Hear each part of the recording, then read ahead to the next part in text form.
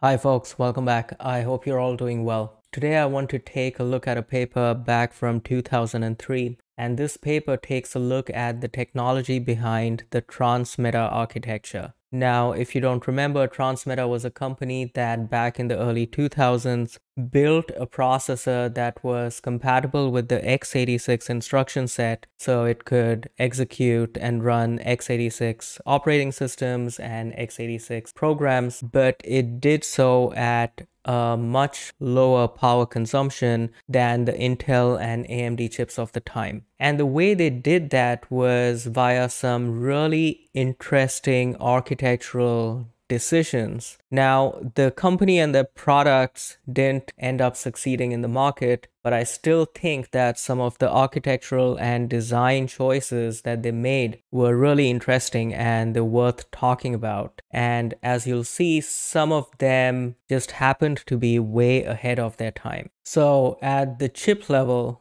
their microprocessor, which they call Crusoe, was a very large instruction width processor, VLIW processor. So each instruction word actually could consist of, I think it was up to four smaller instructions. Each of these larger instructions was called a molecule, and each of the smaller instructions within it were called atoms. But on top of this VLIW microprocessor, which itself was not x86 compatible, they had a software layer which they called code morphing software. And this software layer took in x86 code and translated it at runtime to the instruction set executed by this VLIW microprocessor. So in effect, this is a binary translation system. And there has been a lot of work in this area. I covered a paper on a system called Dynamo earlier on this channel. But the main difference in this case is that this is a system level translator. This is not just translating an application at a time. This is translating the entire system, including the operating system. So it has nothing to fall back on. It does not have any OS level support or system call level support. It has to support the OS and everything else on top of the instruction set. So this means it has to support the full range of all the idiosyncrasies of x86 code out in the wild. Now, that begs the question why would you even want to do this? And the main motivation was lower power consumption, which in turn led to longer battery life in notebooks and laptops. The idea was that the VLIW microprocessor could be made simpler than the x86 and AMD chips at the time. And hence, it would have a smaller die size, it would consume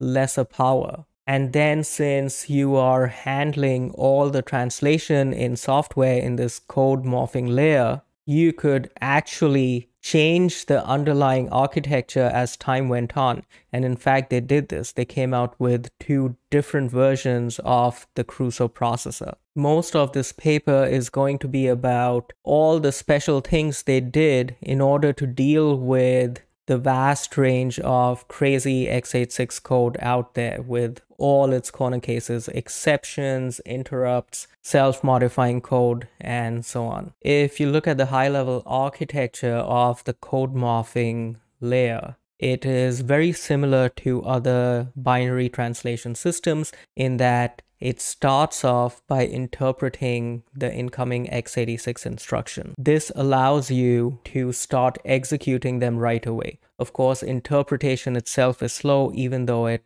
lets you get faster startup. So in the steady state, as you accumulate a bunch of instructions that are executed frequently, you translate that group of instructions into the instruction set of the underlying Crusoe processor and you store that translation in a cache. And the next time you see the same group of instructions, you can execute them right away from the cache without incurring any translation overhead. Now, this translator can do a lot of optimizations on the code. The group of instructions it looks at could be pretty large. It's larger than a basic block, so it can have loops, it can have branches, and so on, uh, which means it can do all the standard data flow optimizations, constant folding, loop rolling, unrolling, constant propagation, and so on that a regular compiler does on that bunch of instructions. The next most important thing is that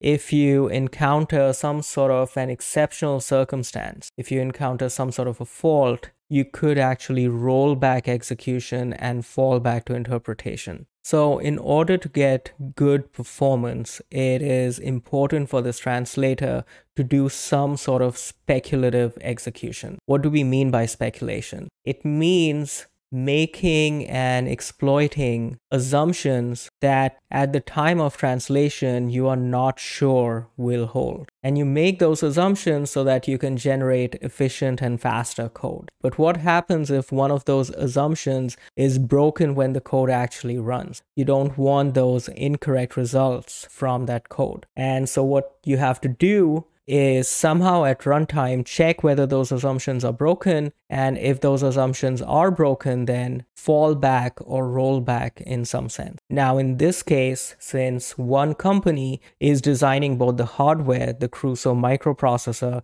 as well as the software, which is the code morphing layer, they can design it in a way such that the hardware and software work together to communicate back and forth when these assumptions fail. Basically, when one of the speculative assumptions fail, you fall back to interpreting that code. And when you interpret code, you execute it with strict x86 semantics. One of the hardware mechanisms that they support for speculative execution and then efficient rollback is what they call shadow registers. This means that all registers that hold x86 state actually have two copies, a working copy and a shadow copy. The regular flow of instructions only updates the working copy of the register. And if execution reaches the end of a group of instructions without violating any speculative assumptions, then these working copies are committed. But if one of the speculative assumptions is broken, then you simply don't commit these working copies and fall back to interpretation. This general mechanism of falling back to interpretation as a form of rollback is something that they use a lot.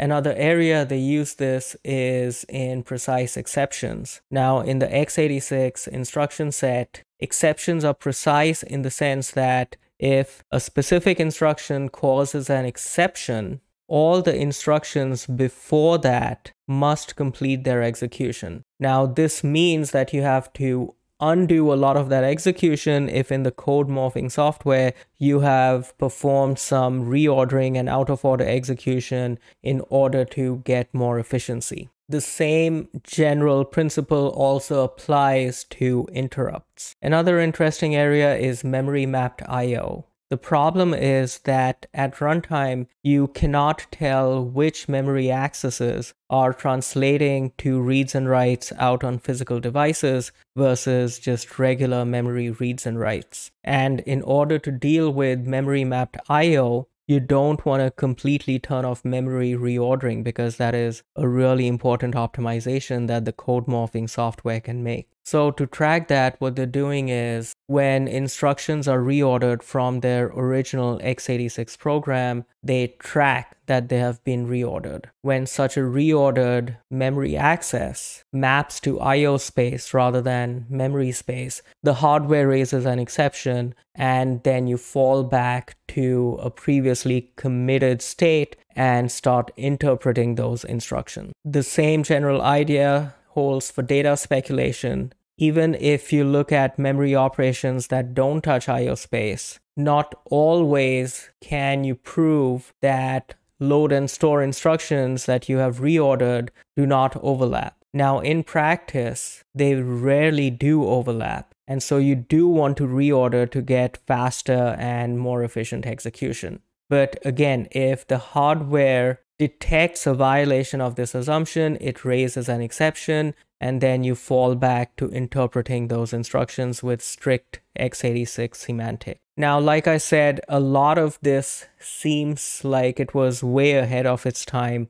A lot of these ideas have since been incorporated into more modern architectures. Of course, modern architectures do a ton of speculative execution, a ton of reordering in silicon itself. Many new architectures even have built in support for transactional memory. Another really crazy corner case that they had to deal with was self modifying code. Apparently, there's a lot of x86 code out there in the wild that modifies itself while executing. And I don't want to get into all the nitty gritty details over there. I'd encourage you to read the paper if you're interested in that. But they had to take a lot of special measures to deal with self modifying code in the code morphing layer. So that was a quick look at the Transmeta code morphing system, which built a complete x86 compatible system on a very simple low power VLIW microarchitecture combined with a binary translation system on top that offered an x86 compatible ISA2 software running on top of it. I hope you enjoyed that and I will see you next time. Thank you very much.